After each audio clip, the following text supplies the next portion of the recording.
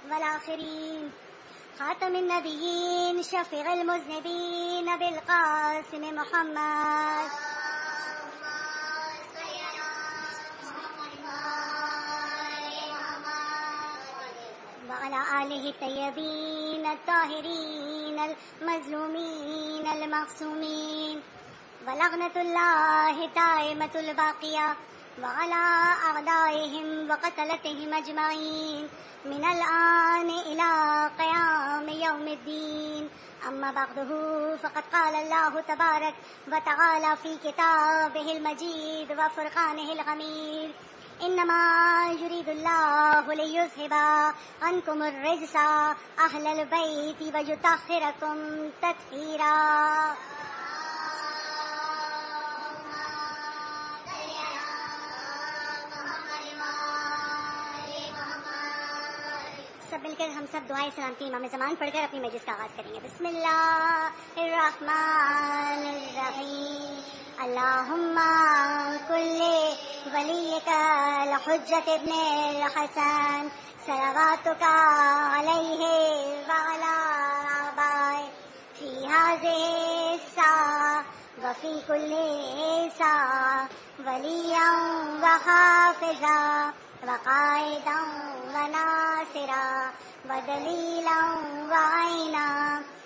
हता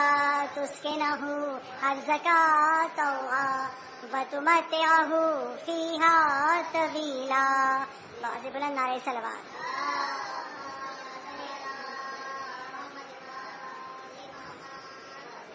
तमाम तर तारीफें उस खुदाए बुज़ुर्ग बरतर के लिए हैं, जो आलमीन का पालने वाला है। जिसने हम सबको खल किया। और हम सबने मर के उसी की बारगाह में जाना है और अपनी ज़िंदगी के एक एक पल का हिसाब देना है।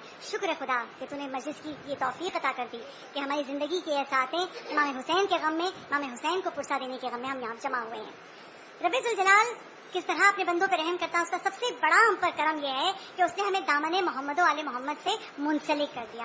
हम सारी ज़िंदगी फकत अगर इस एक नियमत का शुक्र अदा करें तो इस एक नियमत का शुक्र अदा नहीं कर सकते। और कुरान और वारिस कुरान।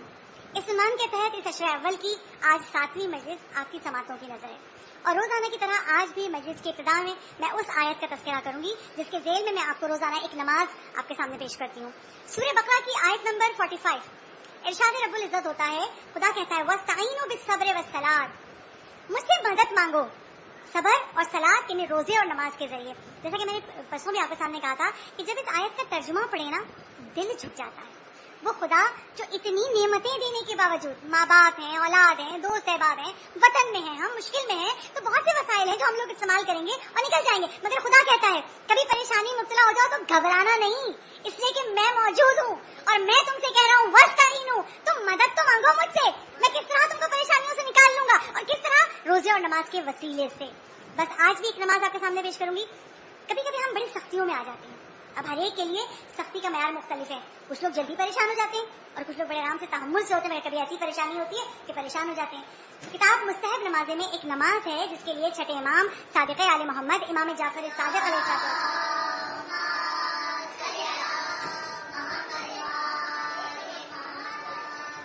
इमाम शाह फरमाते हैं, जब भी तुम किसी सख्ती में, किसी परेशानी में मुबतला हो जाओ और निकल नहीं पा रहे तो क्या करो? कहा, जवाल के वक्त से पहले वक्त सवाल से पहले दो रकत नमाज़ पढ़ो। अच्छा वो दो रकत कैसे पढ़े? आपने नियत की, अल्लाह अकबर कहा, और अल्लाह अकबर कहने के बाद, जब आपने पहली रकत में अलहम के बाद कुल्ला का सूरा, और कुल्ला के सूर्य के बाद सूर्य फतेह की तीन आयतों की तिलावत की। इन्ना फताना लकम फतम मुबीना शुरू होता है सूर्य फतेह। फतेह की इब्तदाई तीन आयतें, पहली रिकत में अलहम कुलवल्ला और सूर्य फतेह की तीन आयतें। दूसरी रिकत में सूर्य अलहम कुलवल्ला और सूर्य अलम नशरा पढ़ के और छठे इमाम कहते जब दोनों का तमाश तमाम हो जाए, दोनों हाथों को आसमान की तरफ़ बुलंद करे और गिरिया के साथ। यानी मैंने आपसे पहले रेशन में आपसे कहा, जो दुआ आंसुओं के साथ खुदा की बारगाह में मांगी जाए, यकीन कर लीजिए, वो दुआ कबूल हो गई।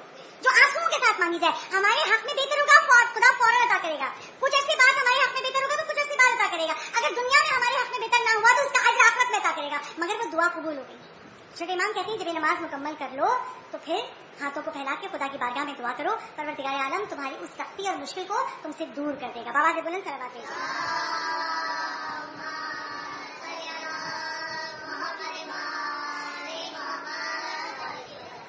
कुरान और वाणी से कुरान के रेल में, जब मैं आपके सामने रिवायतों को पेश कर रही हूँ कभी हम लोग जब दुआएँ मांगते हैं ना खुदा से तो इतना होता है, पता नहीं कबूल हो, पता नहीं कबूल ना हो ये हम सबके साथ है।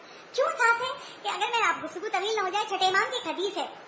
अमल करने वाले भी खसारे में हैं, अगर इल्म ना हो। अब इबादत कर रहे हैं, मगर इल्म नहीं है। अच्छा फिर इमाम कहते इल्म वाले भी खसारे में हैं, अगर तकवा ना हो। अगर मुत्तकी नहीं है, इबादत कर रहे हैं, इल्म भी आ गया, क्या शराय है पता ही नहीं है। इमाम कहते हैं, तकवा वाले भी खसारे में है, अगर खुलूस ना हो। और खुलूस वाले भी खसारे में हैं अगर यकीन ना हो। अब मैं और आप चारों मराहिल तय कर लेते हैं? हम यकीन ताके लौट चढ़ाने लगते हैं। और उस मौला के मानने वाले हैं कि अली अबी तालिब की शहादत होती है तो मौला ये कह के जाते हैं, फुस तो मेरा रब्बिल काबा। रब्बे काबा की कसम मैं कामयाब जा रहा हूँ। उस इमामुल मुत्तकीन के मानने वाले। मगर यकीन की अभी तक हम उस मंजिल पे सब नहीं, हम जैसे गुनाहगार कुछ लोग यकीन के उस मंजिल पे नहीं आए होते। तो क्या कहा कि कभी कभी दुआएँ मांग रहे हैं, नमाजें पढ़ रहे हैं? पता नहीं अल्लाह कबूल करे करे, अल्लाह कर ले तो बड़ा अच्छा है। जब भी खुदा से मांगे यकीन कामिल के साथ मांगे। कैसे एक रिवायत पेश कर दूँ? किताब कशकोर की रिवायत है, एक अराबी शख्स, सहरा में रहने वाला एक अरब, पहुँचा मक्के, और ऊँट पर गया था मक्के उसके साथ ऊँट पर बहुत सारा सामान भी लगा हुआ था।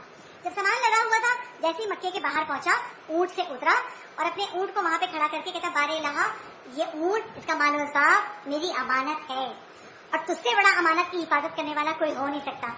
तूने कुरान में कहा है, फल्लाह खैर हाफिज वह रहमुर्राहिमीन कि हिफाजत करने वाला वो है जो हिफाजत करता रहमुर्राहिमीन है। मैं अपना ऊँट और मालस बाप तेज जमानत में लेके जा रहा हूँ, तुझे अमानत में लेके जा रहा हूँ, इसकी हिफाजत करना। जब कह दिया ना खुदा से, यकीन की मंजिल पे आ गया। हम और आप होते तो अंदर जाके इबादतें भी कर रहे थे दिल पता नहीं क्या हुआ, कोई उठा ले जाए, सारी इबादतें उस ऊँट को दे देते, यानी अल्लाह की तरफ़ इतनी तवज्जो ही ना हो पाती। वो गया, उसे नमाजें पढ़ी, तवाफ किया। जब सारी इबादतें कर चुका, बाहर आया, देखा ऊँट गायब है। जब ऊँट गायब है आसमान का शिकार कहता है, बारे लहा, मैंने अपनी अमानत तेरे पास रखवाई थी और मैं तेरी अमानत अदा करके आ रहा हूँ। ये सजदा, ये नमाज़, ये तवाब तेरी अमानत है। मैं तेरी अमानत अदा करके आ रहा हूँ। मेरी अमानत कहाँ है?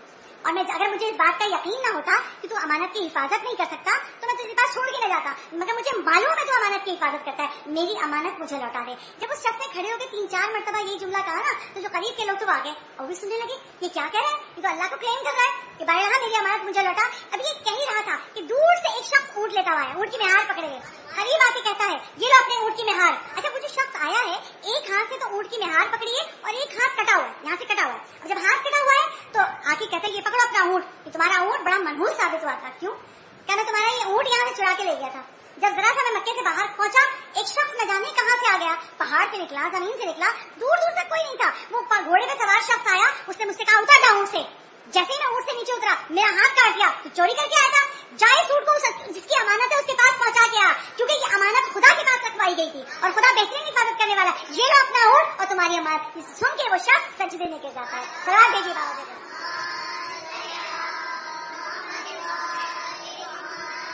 तो खुदा से भी मांगे, बल्कि नमाजों में हमें ये दुआ करनी चाहिए, अल्लाह हमारे ईमान को मंजिल यकीन पर ले आ। कि हम भी तुझसे जो मांगे, यकीन से मांगे, किसी चीज़ की कमी नहीं है तेरे पास तो जो इस यकीन से मांगेगा, रब्बे जलाल उसकी मुश्किलात को बरतरफ कर देगा। कुरान और वारिस कुरान। जो खूबी कुरान में है, वही खूबी वारिस कुरान में है।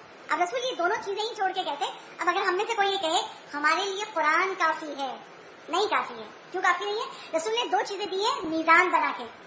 इसको भी मानो, इसको भी मानो। अगर कोई कुरान को मान रहा हो, अहले बैत की विलायत को न माने तो ये कुरान उसे भी हिदायत नहीं देगा। अगर कोई अहले बैत को मान रहा हो, कुरान से इस्तेफादा नहीं करता, बस मौला काफ़ी है, मौला मदद कर देंगे। अगर कोई इस तरह मौला को माने कुरान को छोड़ दे तो आइम्मा से भी उसको हिदायत नहीं मिलेगी। दोनों बातों के लिए मैं एक रिवायत पेश कर दूँ। रिवायतों में है, एक शख्स जो छठे इमाम के जमाने में था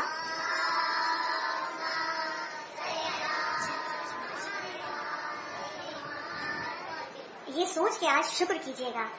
ऐसे मौसम में अगर हम लोग अभी मुहर्रम ना होते, घरों में होते, ये पका दो, ये खिला दो, ये कर दो, दुनिया के काम काम काम। खुदा ने कहा कि खुदा की रहमतें बरस रही हैं, ये खूबसूरत मौसम है। इस मौसम में बैठ के हम दो सरा सुनो। इस मौसम में बैठ के ज़िक्र मोहम्मद वाले मोहम्मद सुनो और अपने अमाल में नेकियों को इजाफा करो। तो खुदा तेरा शुक्र अदा करते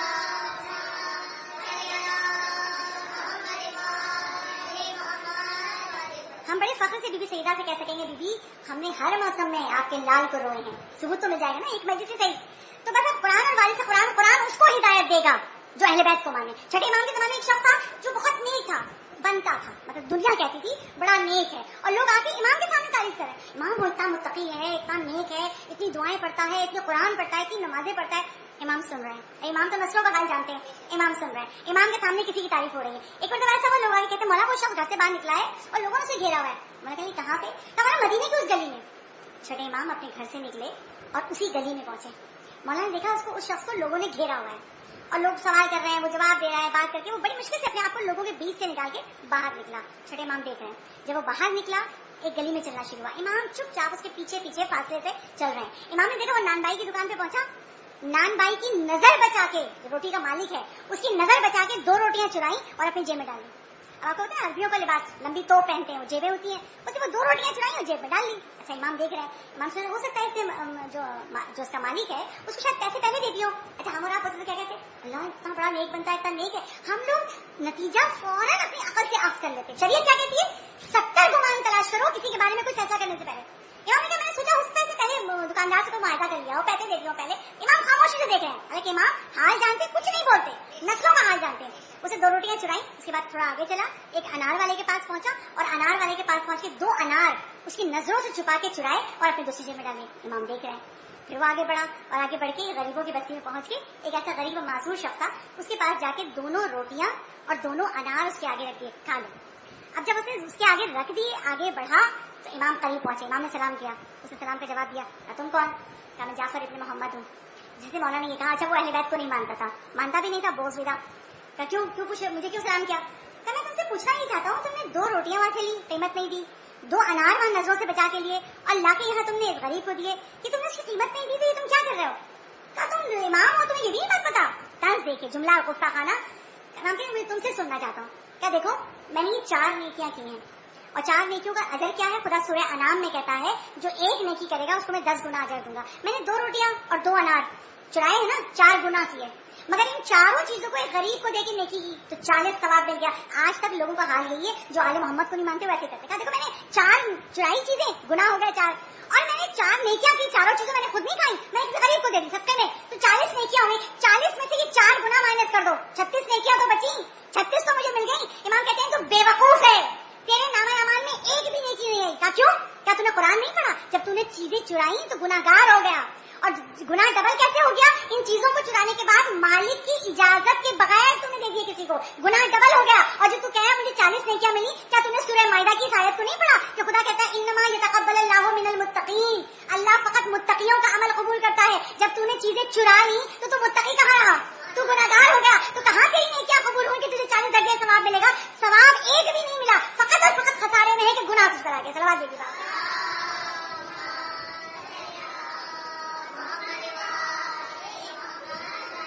यानी अगर कोई कुरान को थाम ले और विलायत आले मोहम्मद को न माने रहती दुनिया तक, कयामत तक, वो कुरान समझ ही नहीं सकता। क्योंकि आले मोहम्मद ने एक एक आयत को समझाया है। कि मायने क्या है? तो अगर कोई कुरान थाम ले और अहले बैत को न माने, वो कुरान समझ ही नहीं सकता। जब समझ नहीं सकता तो अमल भी ऐसे टूटा फूटा होगा।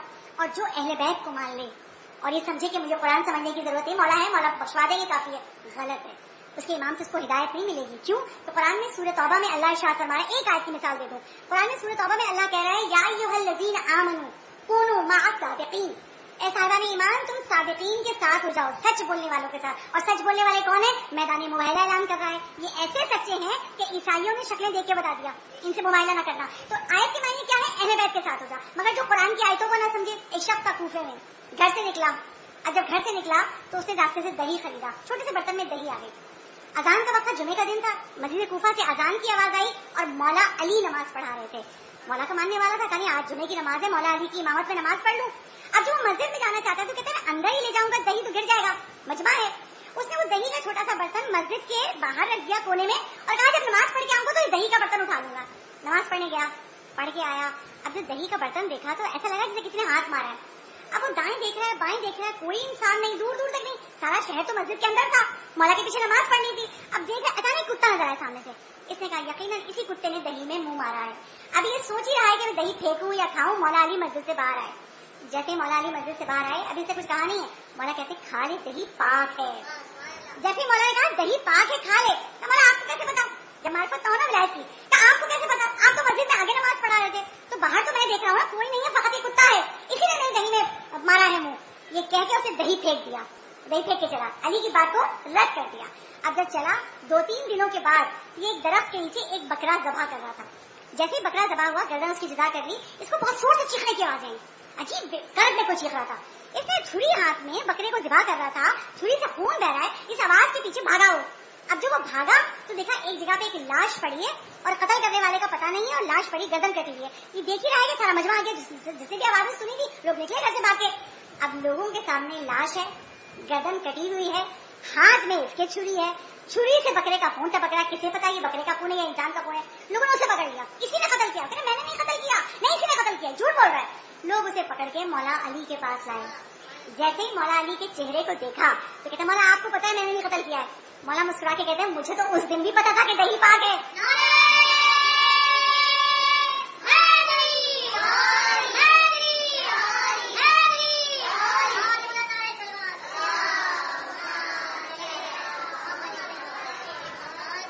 मौला कहते मुझे तो उस दिन भी मालूम था कि दही पाक है तूने मेरी बात को रद्द कर दिया अगर तू मेरी बात को रद्द ना करता तो आज इस मुश्किल में गिरफ़्तार ना होता।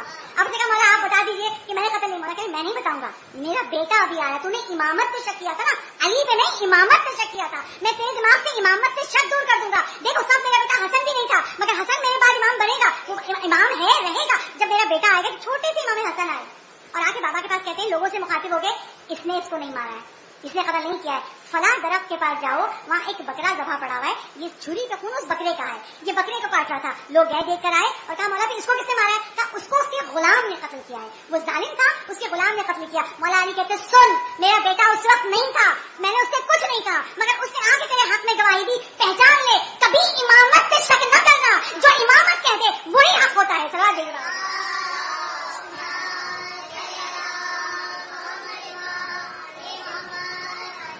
जुमला हमने अपने बच्चों को अपनी नस्लों में ये जुमला तहरीर करके छोड़ देना चाहिए। कभी इमामत पे शक नहीं करना। इमामत पे शक करोगे तो खुद नुकसान में रहोगे। ये वो मासूम है, ये वो सादकीन है, ये कभी झूठ नहीं बोलते। इस फशेजा के सदके में मैं और आप आयतल कुर्सी को समझ रहे हैं और कल की मजलिस तक आयतल कुर्सी जो आयत है बकसूर बकरा की आयत नंबर 245 वो कल मुकम्मल होगी वह अली अजीम पे मुकम्मल होगी मगर जब हम किताबों में मुस्तैद इबादतें पढ़ते हैं तो इमाम का एक जुमला लिखा हुआ नज़र आता है। इस आयतल कुर्सी को हम फिहा खालिदून तक पढ़ना। इन दो आयतों से ऐसा कनेक्शन है कि इमाम कहते हैं इसको हम फिहा खालिदून तक पढ़ना। इसलिए मैं आगे बयान कर रही हूँ, वरना जो एक आयत है आयतल कुर्सी होगी मगर चूँकि हमें साथ मिला के पढ़ने को कहा जाता है तो आज उसका पहला जुमला। उसका जुमला क्या है? पर उससे पहले आयतल कुर्सी की फजीलत बयान कर दूँ। सादिक आल मोहम्मद, इमाम जाफ़र सादिक और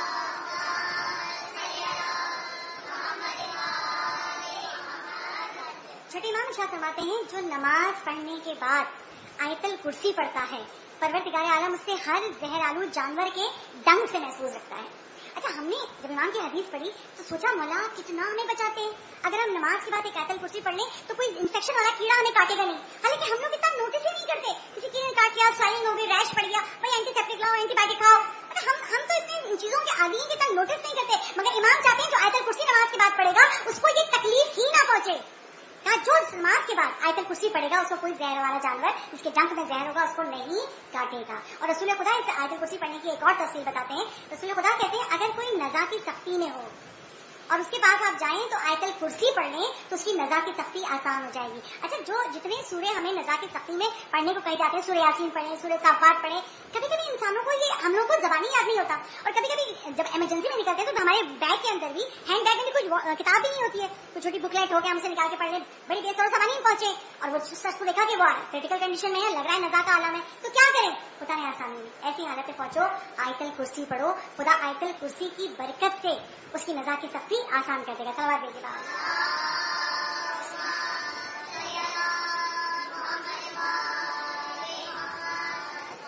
आज हम जिस आयत का पहला जुमला में पढ़ेंगे तो आयत नंबर 256 आयतल कुर्सी, वहुवल अली अजीम तक मुकम्मल आगे का जुमला।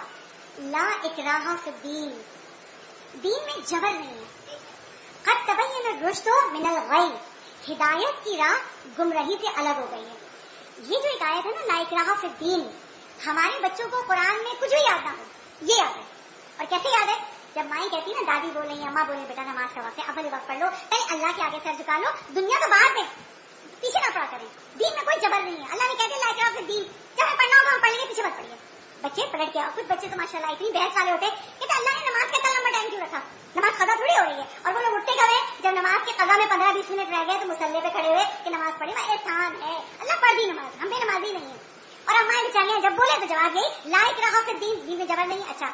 किसी बच्ची से अपनी नौजवान बेटियों से कभी कहें, बेटा मोजे का ख्याल करना मोजे को पाँव ढक लेना, जा रहे हो, ना मेरे की निगाह पड़ेगी, सर के बाल नज़र ना पीछे ना पड़ा करें आप, करना होगा, हम पर्दा कर लेंगे। ब्लाउजी पीछे पड़ी दीन में जबरी नहीं है, पीछे पड़ी रहती है। ला इकराहा फिर अच्छा ये तो बच्चों की जवानों की बात हो गई। अगर मर्दों से बात करें या खातन से बात करें कि भाई खुम्स निकालना है। हम क्यों निकालें खुम्स जब समझ में आएगा निकालने पीछे ना पड़ा करें। जब हमारी समझ में आ जाएगा, हम क्यों इराक ईरान के मुल्लाओं को अपना पैसा दें? ये जुमले कहते हैं लिटरली ये जुमले कहते हैं। जब समझ में आएगा निकाल लेंगे। लाइक रहा से दीन। में कोई जबर नहीं है। आप हम पे ज़बरदस्ती ना करें। क्या मतलब है इस आयत का ला इकराह से दीन। दीन में जबर नहीं है। क्यों जबर नहीं है? इसलिए जबर नहीं है इस दीन का एक एक हुक्म अल्लाह ने मनतकी दलील से दिया है। दीन दीन हक है और हर बात के पीछे एक दलील है।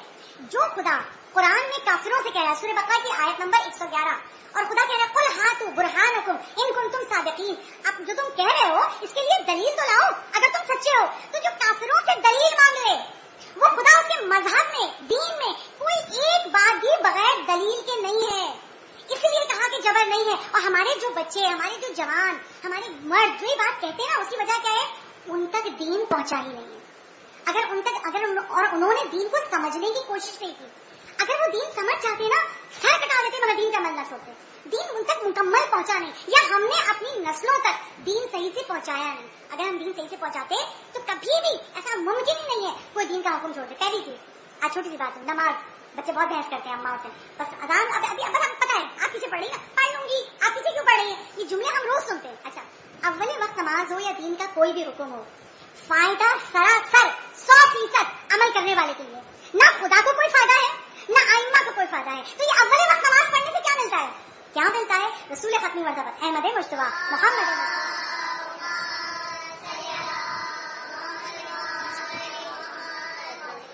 रसूल खुदा अपने असाब के दरमियान बैठे हुए थे। और जब सब लोग बैठे थे सवाल हो रहे थे तो अक्सर हम लोग, जब कभी बात होती है, ये नमाजों की बात शैतान ने बहका दिया, उन्होंने कहा हम भी ये बातें कर लेते। अक्सर बच्चे कहते हैं, रात को हमने सोचा था कि नमाज़ शब्द उठेंगे। हमने पक्का इरादा कर लिया था कि हम रोज़ाना एक पेज कुरान तो पढ़ेंगे। इतने नॉवेल्स पढ़ते हैं, इतने न्यूटन लॉ पढ़ते हैं फिजिक्स पढ़ते हैं केमिस्ट्री पढ़ते हैं, समझ में क्यों आती है? समझाया है। उस्ताद ने अच्छे तरीके से समझाया है तो हमें फिजिक्स केमिस्ट्री समझ में आ गई, मगर पुलिस रात से कोई नहीं पूछेगा न्यूटन लॉ क्या है? न्यूटन का कानून क्या है बताओ, जो ग्रेविटी है वो क्या है? कोई नहीं पूछेगा। मगर समझ में आ गई तो जहन में उतर गया, मगर दीन हमें समझाया नहीं जाए अब रसूल के साथ बैठे हैं और रसूल एक मरतबा कहते हैं, मैं तुम्हें ऐसा अमल बताऊँ, कि शैतान तुमसे डरने लगे। अल्लाह के रसूल, हम तो शैतान से डरते हैं। शैतान की वजह से हमें वसवसा होता है, हमसे नेकियाँ छूट जाती है। शैतान हमसे डरा है कहा? अगर तुम अव्वल वक्त नमाज़ पढ़ो, ये शैतान तुमसे डरा रहेगा। और जैसे जैसे तुम्हारी नमाज़ पीछे आती जाएगी, शैतान तुम पे हावी होता जाएगा। और जैसे जैसे पीछे आओगे, शैतान तुमको वसवसे से गुमराह करेगा। जो सारी ज़िंदगी अपनी नमाजों को अव्वल वक्त पढ़े अल्लाह की मोहब्बत का सबूत है, अजान की आवाज़, अल्लाह की आवाज़ है। अल्लाह की आवाज़ सुनी, फ़ौरन मुसल्ले पे आ गया। तो जो सारी ज़िंदगी अव्वल वक्त नमाज़ पढ़े, फ़ायदा क्या है? शैतान उसको गुमराह नहीं कर सकता। ये फ़ायदा है। अच्छा जो बच्चे कहते हैं, अल्लाह मेरी नमाज़ के टाइम को पंद्रह मिनट तो रखा नहीं है। अब जोहर की अजान होगी, बारह चालीस पे नमाज़ है तो हम सात बजे तक पढ़ सकते हैं। अल्लाह ने वक्त क्यों रखा? ये तो बताएँ। अल्लाह ने वक्त इसलिए रखा, अगर कोई सफ़र में है किसी मीटिंग में है कोई, किसी क्लास यूनिवर्सिटी की क्लास में बैठा है, बीच में से नहीं उठ सकता, खड़ा होगा तो सब डटेंगे ऑफ़िस की मीटिंग में है मीटिंग छोड़ नहीं सकता। तो ऐसे लोगों के थोड़ा सा ये खत्म हो जाए तो हम नमाज़ पढ़े। अल्लाह को हमारा नहीं, सारे इंसानों का ख्याल है। इसलिए नमाज़ का इतना वक्त रखा कि वो भी पढ़ सके, मगर जो अव्वल वक्त पढ़ सकता है, वो नमाज़ को अव्वल वक्त पढ़े। अगर कोई देर से पढ़ेगा, जैसे हमारे बच्चे पंद्रह से बीस मिनट पहले खड़े होते हैं तो क्या जो देर से पढ़ेगा उसका क्या नुकसान है? छठे इमाम, सादिक आले मोहम्मद, इमाम जाफ़र सादिक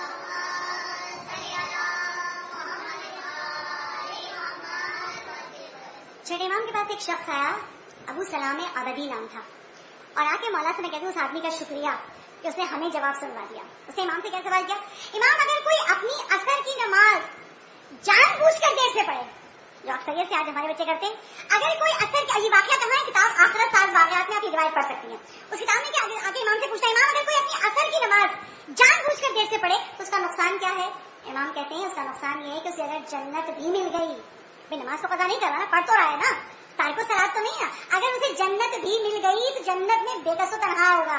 न औलाद होगी, न बीवी होगी, न माल होगा, न घर होगा। वो जन्नत में जाके भी दूसरे जन्नतियों से कहेगा, मेरी मदद कर दो, मैं बेकसो मददगार दुनिया में तो हर तकलीफ़ बर्दाश्त है, मगर मौला जन्नत में नहीं। वहाँ अली के कदमों में बैठे हैं, जहरा के कदमों में बैठे हैं, और मौला की जबान से सुने मौला जो बता रहे हैं। वहाँ जाके ऐसी बेकसो तनाई नहीं चाहिए। तो जो असर की नमाज़ जान बूझ कर टाइम बहुत है, पढ़ लेंगे तो कदा का हो रही देर से पड़ेगा उसका ही गुना है, जो इमाम ने बयान किया। तो जितनी चीज़ें अल्लाह ने दीन में हुक्म की है, उसको करने का फ़ायदा फकत और फकत हमारी जात को। एक चीज़ और बयान कर दो, खुम्स। अब जब खुम्स की बात आती है, कुरान में दसवें सिपारे में सूर्य इंफाल में खुदा कह रहा है, वह इन मिनशाइन जो जिस चीज़ से भी तुमको फ़ायदा हो तो क्या है लिल्ला ही खुमस वो खुम है अल्लाह के लिए, रसूल के लिए आए रसूल के लिए। अब कुरान की आयत दी तो आज का तो बड़ा मुश्किल ना। कहा लिखा है? कुरान में दिखाओ कुरान में लिखा है। खुम्स हो कहा है खुम्स जुमला है खुम्स के पांचवा हिस्सा। अब आप खुद दीजिए, आपके पास जो बच गया है, जो मिला है, जो बचत है, हर वो चीज़ इस्तेमाल होने से रह गई। साल भर आपने अल्लाह के चादर मासूमीन का वार्ता दे देकर मांगा। इस्तेमाल किया। एक तारीख मुकर कर लिए, चाहे चाँद की, चाहे आप ये कैलेंडर की। और पे तारीख मुकर कर ली, और उस दिन आप देखिए मेरे पास क्या क्या बचा है, जिसकी कीमत है, जो बिक सकता है, जिसकी कीमत लगाई जा सकती है। उन सब चीज़ों की कीमत एक पेज पर प्लस कीजिए और फाइव से डिवाइड कर दीजिए। कौन सा गया आपका अल्लाह ये नहीं कह रहा इस तारीख को मुझे इतना दो, कोई टैक्स नहीं है। अल्लाह कह रहे कि तुमने इस्तेमाल कर लिया साल भर, जो अब बच गया है, उसका पांचवा हिस्सा निकाल के दे दो, खुदा रसूल को और आले रसूल को, ये सैदा की औलाद का है। मगर इसको भी अगर कोई सौ रुपए निकाले बड़ी खुशी से ये लीजिए। मगर जब एक लाख निकालना पड़े, जब दस लाख निकालना पड़े तो जरा कदम लगाते हैं। इतनी मुश्किल से कमाया और निकाल के फला को दे दे तो इसको देने का फ़ायदा क्या है? है फ़ायदा। पुराने पास में सूर्य तौबा और सूर्य तौबा की आयत नंबर 103 परवरदिगार आलम इरशाद फरमाना खुद व अमवालहुम सदका। इनसे इनके माल को सदका यानी सदका वाजिब फितरा, जकात खून ये सदका वाजिब है। यानी इनसे लो सदका, माल लो इनसे क्यों लो? तो ताहिरहुम व तुज़क्कीहिम जब ये अपना वाजिब जकात निकालेंगे खून निकालेंगे, जब अपना वाजिब निकालेंगे तो पहला फ़ायदा क्या है? तो ताहिरहुम इनको गुनाहों से पाक कर देंगे हम। और वह तुजक्कीहिम इनके नफ्सों को पाक कर देंगे। ये हमारे नफ्सों की तो खराबियाँ हैं, ये सोचा ये करेंगे, नहीं किया। कोई आ गया मांगने कल फिर आ जाएँगे, मांगने आज दे देंगे तो। ये नफ्सों का तजकिया नहीं हुआ हुआ मगर जो ये खुद निकाल रहा है, अल्लाह कुरान में जमानत दे रहा है। तुम्हारे गुनाह भी बख्श दूँगा और तुम्हारे माल में दस गुना इजाफा कर दूँगा। किसी मैथमेटिशियन से पूछिए, जो बच जाए, उसका पांचवा हिस्सा दें, खुदा हमें दस गुना बढ़ा के दे दे। हम फ़ायदे में, नुकसान में? फ़ायदे में? किसी बैंक का इंटरेस्ट जो है वो आपको दस फ़ीसद नहीं मिलता। तब भी हम बैंक में पैसे रखवाते हैं। खुदा कह रहे हैं जो तुमने खुद निकाला है, इसका दस फ़ीसद बढ़ा, दस गुना बढ़ा के तुम्हें दूँगा। दस गुना बढ़ा के। तो ये इबादत है। इसका फ़ायदा है। कभी तकबर ना कीजिए। और एक आखिरी जुमला कहकर मसाज की मंजिल पे आ जाओ हिजाब। आज हमारी बच्चियाँ जो मना करती, वजह उन बच्चियों का कसूर नहीं है। उन बच्चियों ने दीन के एहकाम को समझा नहीं। या उनको समझाया नहीं गया। इसका फ़ायदा फकत और फकत करने वाले को मैं कोई अजाब की आयत नहीं पढ़ूँगी कि रसुल्ला मेरा आज पे गए तो औरत बालों से लटकी हुई थी। रसूल ने पूछा, जिब्राइल से कहीं इसका गुनाह ये कि बेपर्दा थी बापर्दा नहीं थी। मैं फ़ायदा बताऊँगी। रसूल खती मतलब अहमद मुस्तफ़ा मोहम्मद मुस्तफ़ा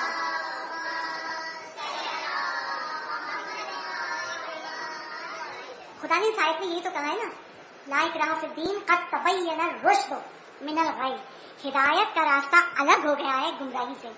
कैसे अलग हो गया है कि जब बाइतों में ये है कि जब रसूल खुदा ने कहा, तीन किस्म की औरतें मेरी बेटी फातिमा के साथ, फातिमा कौन?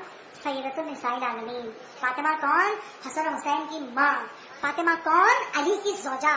क्या मेरी बेटी फातिमा के कदम से कदम मिला के जन्नत में दाखिल होगी? क्या कौन तीन किस्म की औरतें? क्या पहली औरत जो सारी ज़िंदगी बापर्दा रही वो औरत सैदा के साथ जन्नत में जाएगी। क्या दूसरी किस्म की औरत जिसने शोहर की गुर्बत पे सबर किया? अच्छा कहने में तो छोटा सा जुमला है। शौहर की गुर्बत पे सबर किया, बहुत मुश्किल काम है। तनख्वाह कम हो अखराज ज़्यादा हो, बच्चों की ख्वाहिशें हैं, ये चाहिए, वो चाहिए, बच्चे लड़ते हैं, बाप से नहीं, माँ से लड़ते हैं। औरत को मैनेज करना, औरत को मुतमिन करना अपने बच्चों को, बहुत मुश्किल काम है। रसूल कह रहे हैं, जो अपनी शोहर की गुर्बत पर सब्र करेगी, इतना मुश्किल काम करेगी, वो मेरी बेटी जहरा के साथ जन्नत में कदम रखेगी। और कहा जो मेरी जो अपने शोहर के बदअखलाकी पर सब्र करेगी। देखिए, मर्दों को जब अखलाक बुरा हो जाए ना तो न जाने क्या क्या कह डालते हैं। हाथ उठाते हैं, मारते हैं, नहीं, हर गुना कर डालते हैं। और उस औरत के लिए बर्दाश्त करना क्यों मुश्किल है? औरतें कहती हैं, औलाद ना होगी तो हम भी ठोकर मार के चले जाते हैं। हमें दो रोटियाँ मिल जाती मगर जब औलाद हो, बेटियाँ हो, वो माँ इसलिए बर्दाश्त करती है, मैं यहाँ से निकल जाऊँगी। लोग कहेंगे, माँ ऐसी तो बेटियाँ भी ऐसी होंगी। बर्दाश्त कर रही है। तो क्यों बर्दाश्त कर रही है रसूल खुदा कह रहे हैं जो अपने शौहर के बदतरीन अखलाक को बर्दाश्त करेंगे, वो औरत इतनी खुश नसीब होगी कि मेरी बेटी जहरा के साथ जन्नत में कदम रखेगी। अब जो बच्ची ये अजर समझ ले, कहा किसने है, जिसे काफिरों ने भी सादिक और अमीन कह दिया? मोहम्मद झूठ नहीं बोलते, हमारे तो मौला वाका है। जब इमाम झूठ नहीं बोलते, रसूल झूठ नहीं बोलते और कह रहे हैं जन्नत में जाएँगे तो इसी तरह अगर हम हिजाब को दुनिया करे, शादी में आई हो मस्जिद में आई हो मुड़ी बन रही है, पूरा लपेट के बैठी हो पता क्या चलेगा? जेल मैके से कौन सा मिला था, ससुराल से भाई दिखाओगी तो पता चलेगा, दुनिया कुछ कहती रहे ये दुनिया हमें खबर में बख्शाने नहीं आएगी। ये दुनिया हमें मैदान कायमत बख्शाने नहीं आएगी। हम सिर्फ़ वो करें जो हमारे इमाम ने हमसे कहा। है ठीक है? जीनत के लिए जेवर मिला था घर में बैठिए, तैयार होइए, अपने शोहर के लिए मेकअप कीजिए, किसने आपको रोका है? शोहर के लिए। महरम के लिए। ना महरम के लिए नहीं, अगर हम बापर्दा रहेंगे तो किसी का फ़ायदा नहीं है, हमारा फ़ायदा है और सबसे बड़ा फ़ायदा इमाम जमाना उससे राज़ी हो जाते हैं। इमाम जमाने कैसे राज़ी होते आयतुल्ला सिस्तानी, अल्लाह उनको लंबी आयात दे। उमर का करे। आयतुल्ला सिस्तानी के वालिद, बाकर सिस्तानी, आशिक इमाम जमाना थे हर मस्जिद में मुख्तलिफ़ अमाल कर रहे हैं। मुझे इमाम जमाना की ज्यारत मिल जाए। मैं भी इमाम जमाना को देख सकूँ। एक मतलब उन्होंने चालीस दिन का अमल शुरू किया। चालीस शब्द जुमा और जुमा। ज्यारत जामिया और ज़्यादा अरबईन का अमल किया। उनतालीस जुमे गुजर गए। उनतालीसवें जुमे को एक मस्जिद में बैठ के बैठ के दुआएँ पढ़ रहे थे कि इमाम जमाना मुझे अपनी ज्यारत करा दीजिए। एक बार भी देखा कि मस्जिद की खिड़की से सामने जो मकान था, उसके अंदर इतनी रोशनी नज़र आ रही है। एकदम खड़े हो गए कि रोशनी बता रही है, मेरा इमाम यहाँ ना हो। गए। उस घर का दरवाज़ा खटखटाया। जब दरवाज़ा खटखटाया, दरवाज़ा खुला, अंदर गए। देखा एक जनाजा रखा हुआ है और इमाम जमाना उसके पास खड़े इससे पहले कि ये इमाम जमाना से कुछ कहते? इमाम जमाना ने कहा, क्यों परेशान है? मुझसे मिलना चाहते हो ना? इस जैसे बन जाओ, तुम्हें बुलाना नहीं पड़ेगा, मैं खुद आऊँगा। ये कहते इमाम गायब हुए। अब उन्होंने पीछे साइड खाना थी जनाजा किसका है? कहा, एक औरत का जनाजा। है कहा, इमाम इसके जनाजे पे है? कहा, ये वो औरत है जो सात साल तक घर से बाहर नहीं निकली कि बेहिजाबी ना हो। क्यों? इसलिए कि शहशाह ईरान के जो बाप का जमाना था, उसने ये हुक्म लगाया था ईरान में, अगर कोई औरत बाहिजाब निकले तो उसके सर से हिजाब नोच लो। अब आप सोचिए, सात साल में उसके घर में कोई शादियाँ नहीं होंगी। उसके खानदान में कोई मौत नहीं हुई होगी। उसको किसी ज़रूरी काम से बाहर नहीं जाना होगा। नहीं निकली क्यों? कि मैंने सैयदा को जो हिजाब सीखा है वो हिजाब ना चिन जाए।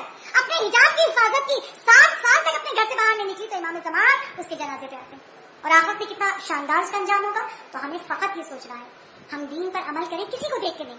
जो भी अमल करेंगे, फ़ायदा फकत और फकत हमारी जात को है। अल्लाह हमें इस तरह सुरखरू रखे मस्जिद हुसैन के सदक़े में कि हम दीन के हर वाजिब पर अमल करें और हमारा वक्त आखिर है एक दुआ मैं नमाजों में मांगती हूँ। आज आपसे शेयर करूँ।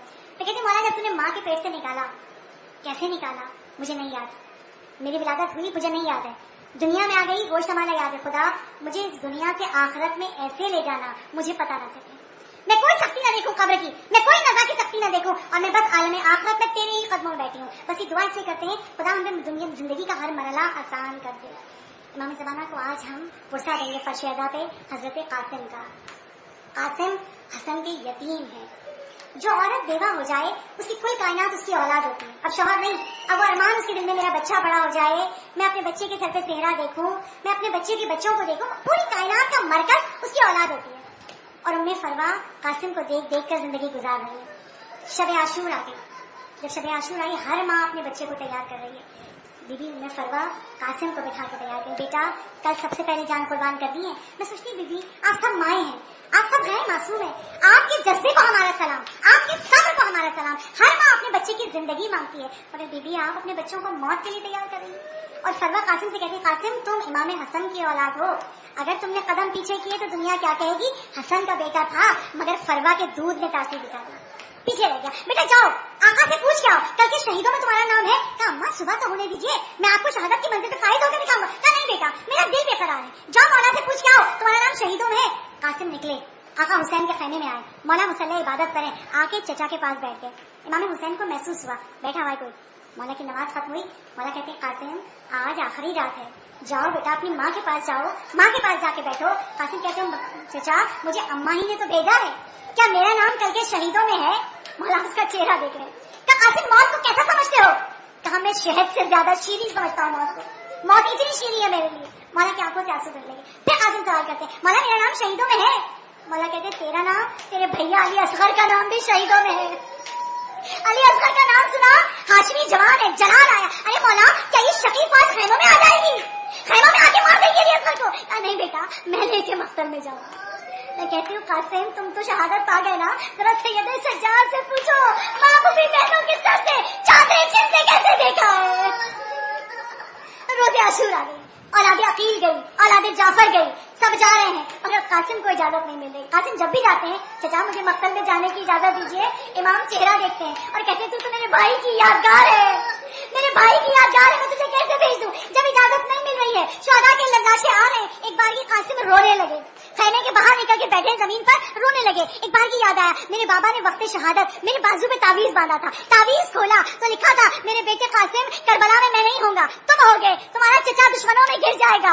अपनी जान कुर्बान कर देना हुसैन पर। कासिम की तावीज की तहरीर पढ़कर खुश हो गए। चचा के पास जाके कहते, चचा, जरा ये तावीज पढ़ी मेरे बाबा ने बांधा था। अब जो इमाम हुसैन ने पढ़ा, रोने लगे, मौला आसिफ मैं तुझे रोक नहीं सकता। ये मेरे भाई का हुक्म है। मैं हाथ जोड़ के कहूँगी, या इमाम हसन मुश्तबा दुनिया के माँ बाप बच्चों को तावीज पहनाते हैं। मौत से महफूज रहे हादसों से महफूज रहे मगर आपने अपने बच्चे को तावीज बांधा था, मौत से हमकिनार करने के लिए। अदादारो कासिम को इजाज़त मिली। बीबी में फरवा आगे बढ़ी। जैनब कुबरा से कहती है, मेरी ख्वाहिश है, आज कासिम जब करबला के मक्तल में जाए तो बाबा का अमामा पहने हो। ये हसन मुश्तबा का अमामा है। कासिम के सर पे पहना दीजिए। इमाम हुसैन ने कासिम के सर पे भाई का अमामा रखा। पैरहन पहनाया। फिर एक बार बड़ी बड़ी अजीब नज़रों से इमाम हुसैन ने हज़रत कासिम को देखा। कासिम ने कहा, चचा, क्या बात है? चचा, मौला हुसैन ने आगे बढ़ के कासिम का गरेबान फाड़ दिया। गरेबान चाक कर दिया? क्या चचा ये क्या किया? क्या चार गरेबान होना यतीमों की अलामत है? तू मेरे भाई का यतीम है, इसलिए मैंने गरेबान चाक कर दिया? अब कासिम को बाजू पकड़ के अब्बास ने घोड़े पे सवार किया। कासिम गए हैं मक्तल में। दादे शुजात दिए। बड़े बड़े पहलवानों को तहे तय किया। मगर एक मरतबा सबने मिलके हमला किया। हसन मुश्तफा का लाल बीच में एक ने बढ़ के सर पे गुर्ज मारा। उस गुर्ज का पड़ना था अब कासिम समझ न सके जैसे घोड़े से गिरने लगे सदा दी चचा लेकिन मौला लेकिन इस आवाज़ का सुनना था इमाम हुसैन उठे जल्दी से घोड़े पे सवार हुए घोड़ा घोड़ा के मक्तल में गए एक मरतबा एक पूछने वाले ने मदीने में सैयद सज्जाद से पूछा था मौला करबला में कौन दो शहीद थे जो बार बार मौला हुसैन को पुकार रहे थे कहा एक मेरा भाई अली अकबर जब घोड़े से गिरा है जालिम तलवारें मार रहे थे और एक मेरा भाई कासिम जब जब घोड़ों की टापे पड़ती थी घोड़ों की टापों से रोना गया कासिम इमाम जमाना मर्सिया पढ़ते हुए कहते हैं मेरा सलाम उस शहीद पर जिसकी दाएँ तरफ़ की पसलियाँ टूटकर बाएँ तरफ़ आ गई थी और बाएँ तरफ़ की पसलियाँ टूटकर दाएँ तरफ़ आ गई थी लाशा कासिम पामाल हो गया था मौला हुसैन पहुँचे कासिम का सर पहलू पे रखा कहा बेटा मैं शर्मिंदा हूँ तेरी मदद न कर सका मौला बहुत तेज़ी से आए थे मगर दुश्मन का लश्कर तेज़ी से भागा था कासिम पामाल हुए मौला तेज़ी से क्यों आए थे मौला ये जानते थे मेरा यतीम है। कभी इसके दिल में ये ख्याल आ जाए, मेरा बाप होता तो आ जाता। बाप की तरह तेज़ी से मौला हुसैन गए हैं। कहा, बेटा, मैं तेरे काम ना आ सका। तुझे पमाल कर दिया। एक मरतबा कासिम ने आँखें खोली और मौला के चेहरे को देखकर कहते, मेरे बाबा आ गए। क्यों कहा बाबा? इमाम हुसैन का चेहरा देख के क्यों कहा बाबा मेरा दिल कहता है हुसैन खैमा से चले हसन मुश्तबा बकैया छोड़ के आ गए होंगे और कासिम ने बाबा का चेहरा देख के कहा मेरा बाबा आ गया कासिम की रूह परवास कर गई मौला ने अबा बिछाई कासिम की लाश को ऐसे पामाल किया था लाश उठा नहीं सकते थे मौला ने लाश के टुकड़े को अबा के दामन में रखा। अब जो अबा के दामन को समेटा गठरी बन गई, घोड़े पे सवार हुए, लेके खाने में आए। जैसे खाने के दरवाजे पे पहुँचे, एक बागी बीबी सकी बीबी जैनब कुबरा आ गई। और जैनब कुबरा ने पहला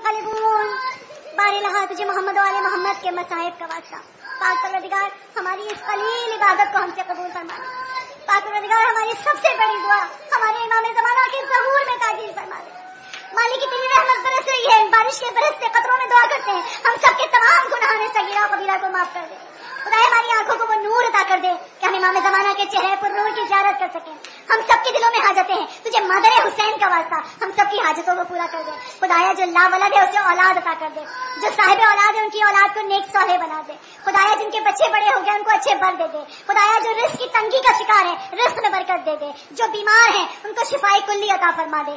हमारे मुल्क पाकिस्तान की हिफाजत फरमा। अजदारी इमाम हुसैन की हिफाजत फरमा। हमारे आयमा के रोजों को खोल दे।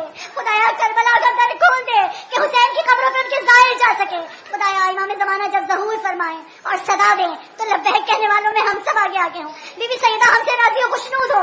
हमारा इमाम हमसे राज़ी हो, खुशनूद हो। और जब इमाम सदा दे तो लबैक कहते हुए इमाम के पीछे पीछे हो। रब्बना तकब्बल मिन्ना अंतर समय अलीम मातम हुसैन।